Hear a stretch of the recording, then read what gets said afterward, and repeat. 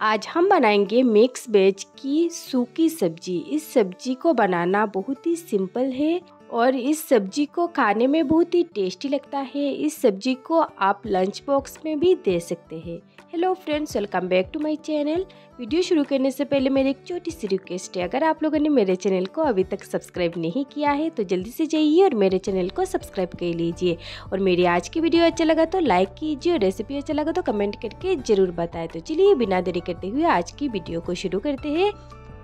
तो सबसे पहले मैंने यहाँ पे एक कढ़ाई को रख दिया है गैस के ऊपर। अभी इसमें डाल देंगे ऑयल तो मैंने यहाँ पे दो बड़ा चम्मच डाल दिया है रिफाइंड ऑयल अभी ऑयल को गर्म होने देंगे। तो अभी ऑयल गर्म हो चुका है। इसमें डाल देंगे आधा चम्मच साबुत जीरा और उसी के साथ इसमें डाल देंगे आधा चम्मच राई, यानी कि सरसों और उसके बाद इसमें डाल देंगे आधा चम्मच पाँच पूरन।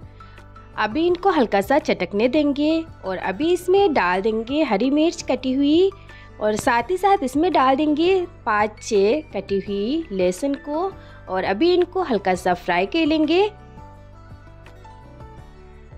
हरी मिर्च और लहसुन को मैंने हल्का सा फ्राई कर लिया है। अभी इसमें डाल देंगे प्याज कटी हुई। तो मैंने यहाँ पे एक बड़े साइज़ की प्याज को बारीक कट करके डाल दिया है।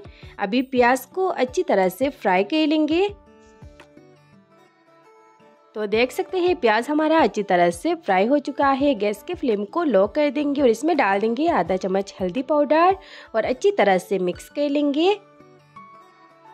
तो मैंने अच्छी तरह से मिक्स कर लिया है। अभी मैंने यहाँ पे ले लिया है कुछ सब्ज़ी, जिन्हें मैंने अच्छी तरह से काट के अच्छी तरह से दो तीन बार वॉश कर लिया है। मेरे पास जो भी अवेलेबल सब्ज़ी था, मैंने वही ले लिया है। अगर आपके पास और भी कोई सब्ज़ी हो तो आप इस सब्ज़ी में ऐड कर सकते हैं। और सभी सब्ज़ी को डालने के बाद अच्छी तरह से मिक्स कर लेंगे पहले।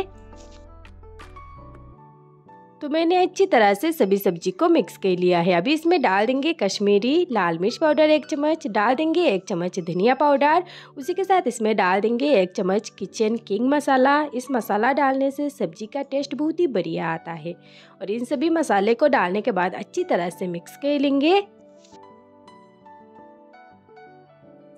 तो मैंने अच्छी तरह से मिक्स कर लिया है। अभी इसमें डाल देंगे स्वाद के अनुसार नमक और नमक डालने के बाद ढक्कन से ढक कर रख देंगे पाँच मिनट के लिए गैस को मीडियम फ्लेम पे रख के।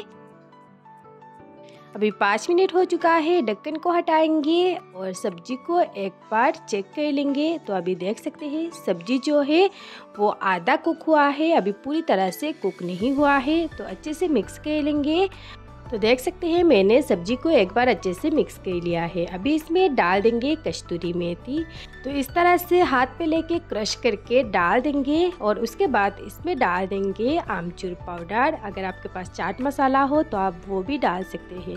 आमचूर पाउडर और चाट मसाला डालने से इस सब्ज़ी का टेस्ट जो है वो बहुत ही चटपटा सा लगता है खाने में। तो अभी इन सभी को अच्छी तरह से फिर से मिक्स कर लेंगे। और मिक्स करने के बाद फिर से ढक्कन से ढककर रख देंगे गैस को लो फ्लेम पे रख के पाँच मिनट के लिए। तो अभी देख सकते हैं, पाँच मिनट हो चुका है, ढक्कन को हटाएँगे। तो हमारा जो सब्ज़ी है, वो पूरी तरीके से पक चुका है। तो अभी फिर से अच्छी तरह से मिक्स कर लेंगे। और मिक्स करने के बाद अभी इसमें डाल देंगे कटी हुई हरा धनिया। और अच्छी तरह से मिक्स कर लेंगे और गैस के फ्लेम को ऑफ़ कर देंगे। तो लीजिए, हमारा मज़ेदार सूखी सब्ज़ी बनकर तैयार है। तो आप इस सब्ज़ी को पूरे के साथ भी खा सकते हैं, चावल के साथ भी खा सकते हैं, रोटी के साथ भी खा सकते हैं। खाने में बहुत ही टेस्टी लगता है और बनाना बहुत ही आसान है। तो बनाकर ज़रूर ट्राई कीजिए और इन्जॉय कीजिए मेरी रेसिपी को और अपने फैमिली के साथ भी शेयर कीजिए, अपने फ्रेंड्स के साथ भी शेयर कीजिए। मिलते हैं और एक नई वीडियो के साथ। आज के लिए बस इतना ही। Bye friends